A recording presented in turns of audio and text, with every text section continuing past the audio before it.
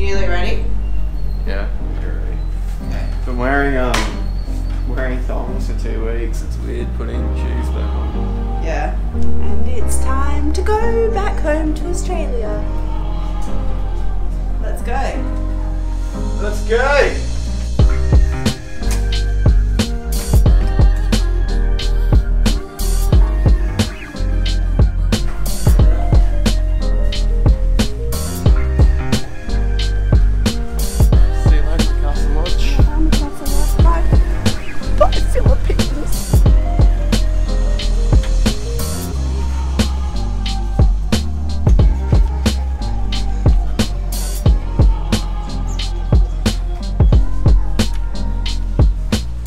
Guys, welcome back to our channel. We are leaving the Philippines today. We're about to catch a flight to Manila and then from there to Singapore and then home to the Gold Coast. So we're super sad to say goodbye to the Philippines. It's been amazing, but we're super keen to head back home and see all our family and friends.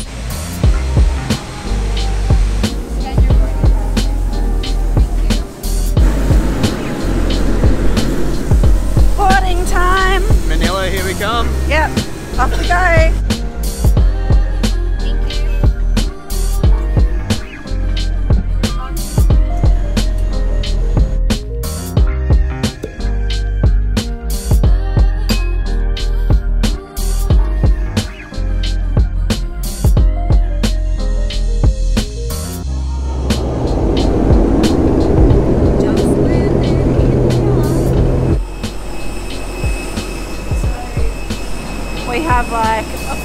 Four hour stop over here and then a four hour flight to Singapore and then a five, five hour stopover in Singapore and then an eight hour flight.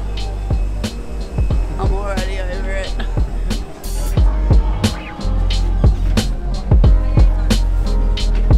Let's go, transfer service this way.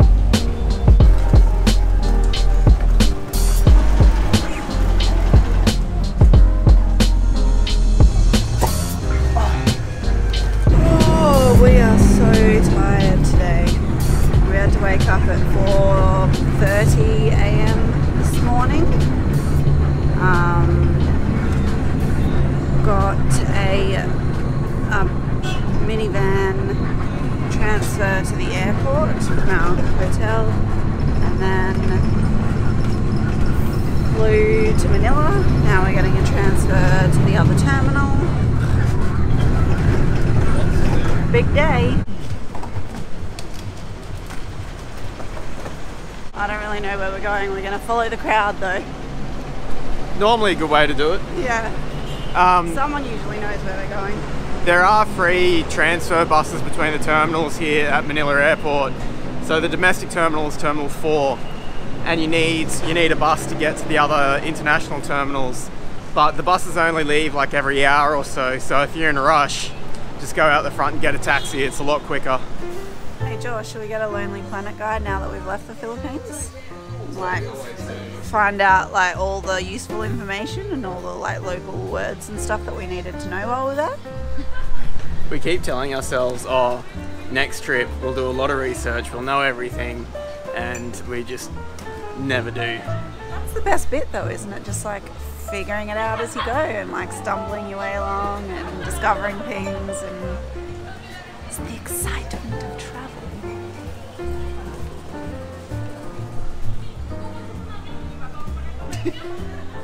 I was meant to disappear like a flash. it didn't work.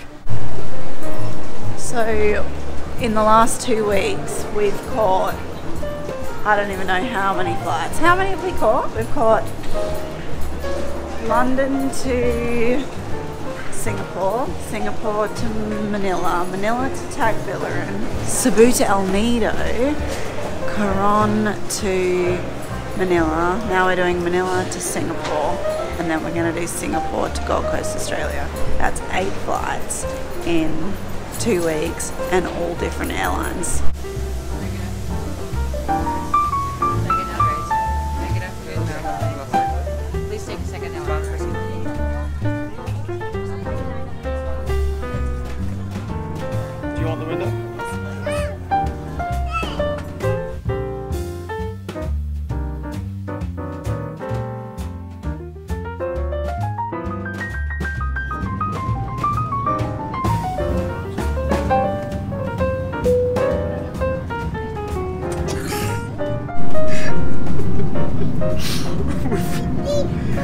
Come up with the best playing game in the world.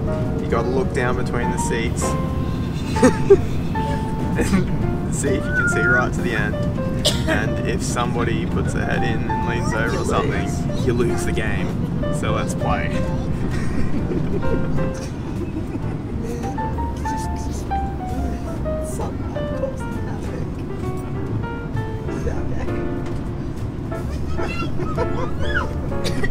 this is what we do. to pass the time. Look down between the seats and get excited when you can see right to the end. And we better stop now because It's a little, little bit creepy. Try it.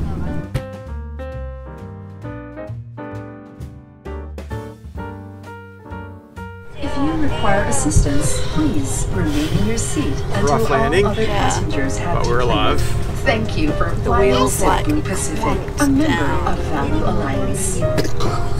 Your cabin crew Yeah, will stand before up we landed, the wheels to like, do a when the safety wheels came down, procedure. the wheel, they like Please clunked remain down the plane, and like the plane like dropped it. and it like rocked and Yeah. like that. And then when we actually landed, we landed on like one side, and we're like that, and then the other side like plunked down to the ground.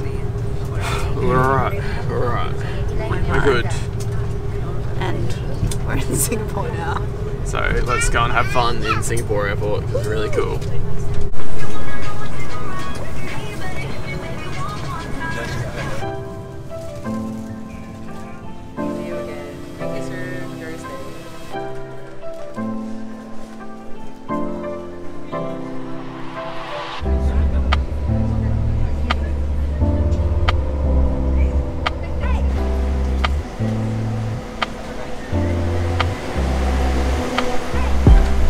Terminal 2.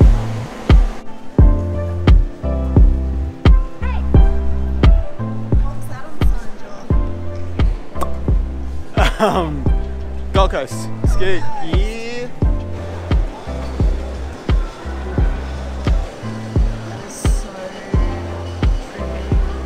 I don't know about you, but I think that's amazing. It's captivating. You just stand there and look at it. Actually told the time at seven o'clock. So we just went through immigration at the departures terminal um, to head to our gate.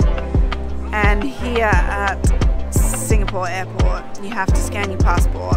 Then you go through an automatic gate once it's scanned, and then you scan your th- clean thumb.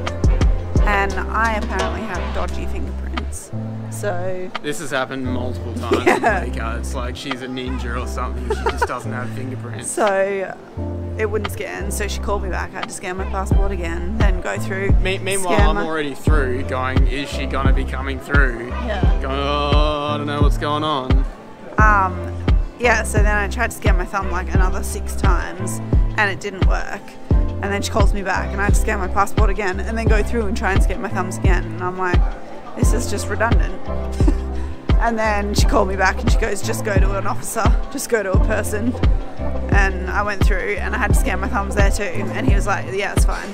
So It's a bit weird and a bit stressful, but we're through now and now we can relax. So Josh has just gone into Gucci to check how much a wallet would be with his ripped camo shorts, dirty white t-shirt,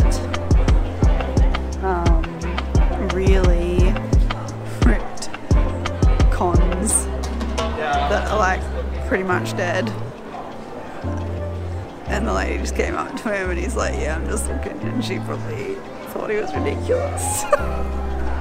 What? was that nice? Yeah, it's good they have wallets in there. Did you feel like you were the correct clientele to go into that shop? Obviously, can't you tell by my shoes?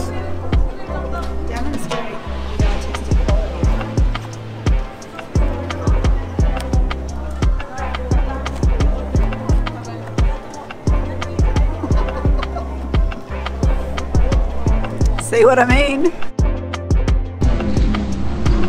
Can I please have some of this one? Uh, how many pieces? Um, can I just have two? Got the meat. Love it. It's so good.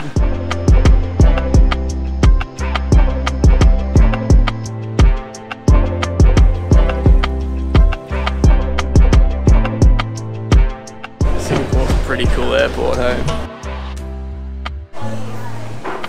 Absolutely shattered. I worked out on the plane that it's just over 24 hours total travel between leaving Coron this morning to getting to Gold Coast in Australia tomorrow morning. You know, we had to get up at 5.30 and it's now 8.30 p.m. And we've got another seven and a half hour flight and I'm shattered.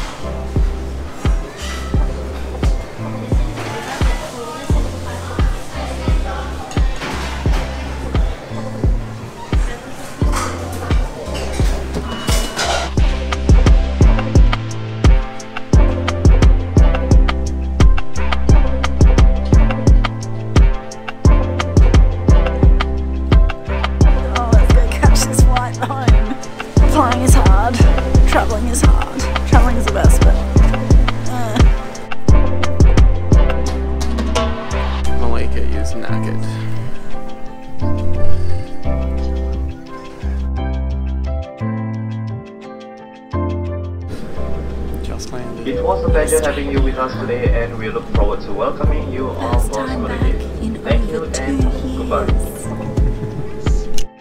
Good to go. Home sweet home.